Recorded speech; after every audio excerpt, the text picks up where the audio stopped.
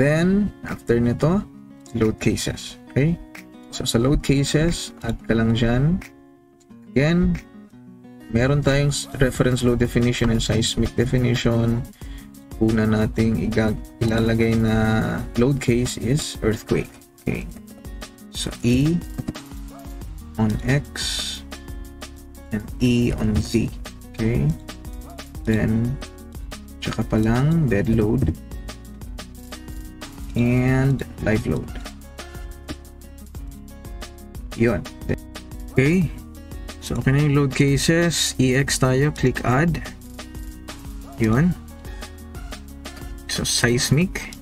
Okay. Seismic. X direction. Accidental torsional moment. 5% lang. I-consider natin. Then 1 dito siya natural torsion moment. Okay. Click add. Close. Easy. Ganun din. Seismic loads. Z direction. 0.05 1 okay. Dead load. So sa dead load dito na na dito na tayo sa reference load. Okay. Click natin yung repeat. Then choose reference load. Yan. Dead load. Then dyan na tayo mag negative 1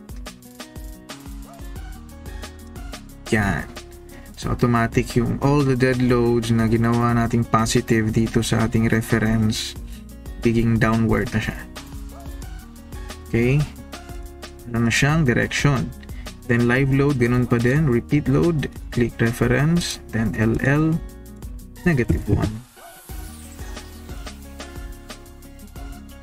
So yun, after nito, load combination na tayo.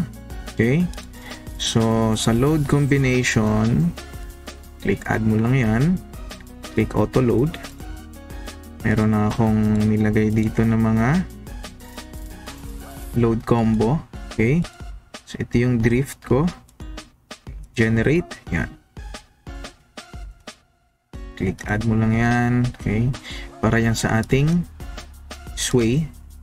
Yung drift ng building. Okay. Service service para to sa serviceability or sa footing size. And then ultimate with EV okay itong ultimate with EV varying to siya. So double check natin to sa ating Excel. Yun. Yun varying yun. Magdidepende yung value nun sa ating model okay?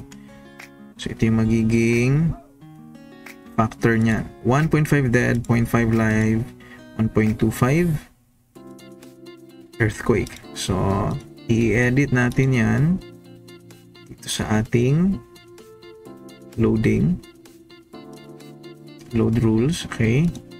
Choose natin yung ating code na 2015 NECP and then Ultimate EV. Yan. So, ang nangyayari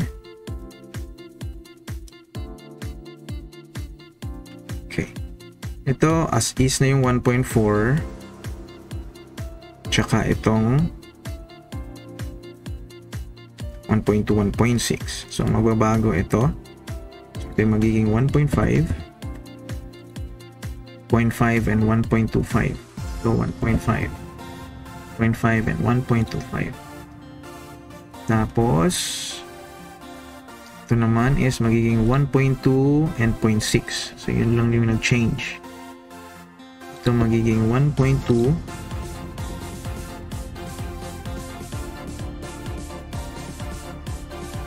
and 6 okay check. 1.5 0.5 1.25 okay. 1.2 1.25 0.6 and 1.25 yan so after nyan update table close. Okay. So, tsaka na natin i-add yung ating load ultimate load combo with vertical effects ng ating concrete. Okay, ultimate with EV. Generate. Check natin. Yun. 1.5, 1.25, 1.2, 1.25, and 0.6. Yan. Click add, close. Yan. Okay. So, may na-miss ako dito na para sa soft story check. Okay. Pag ina lang natin yan dito sa ating editor. Dito natin yan ilalagay sa under ng diaphragm. Yan. Ta. So, under nito, ilagay natin yung check soft story ASCE7. Okay. Click save. Yun. Then, okay na tayo sa mga load cases, load combination. Next is, doon na tayo sa analysis.